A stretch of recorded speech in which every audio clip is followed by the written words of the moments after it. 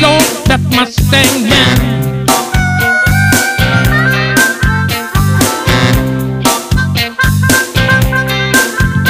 Mustang Sally now, baby. I guess you better slow that Mustang down.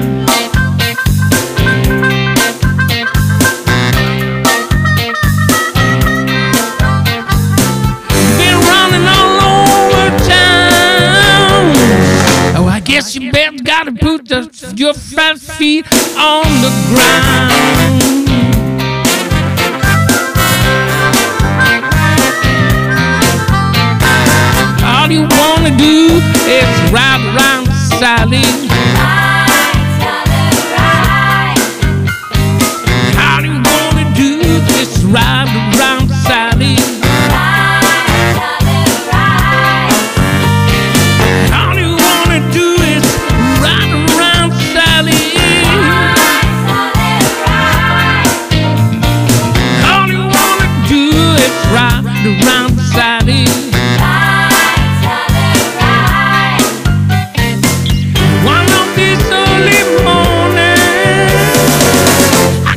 Be weeping those weeping eyes, yeah.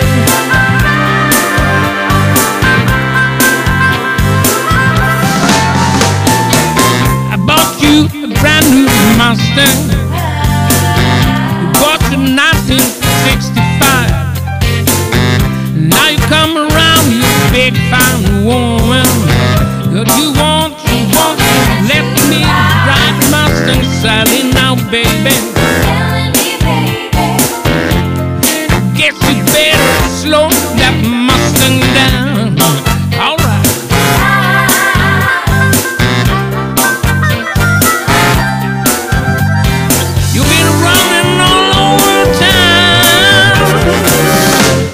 You gotta put your flat feet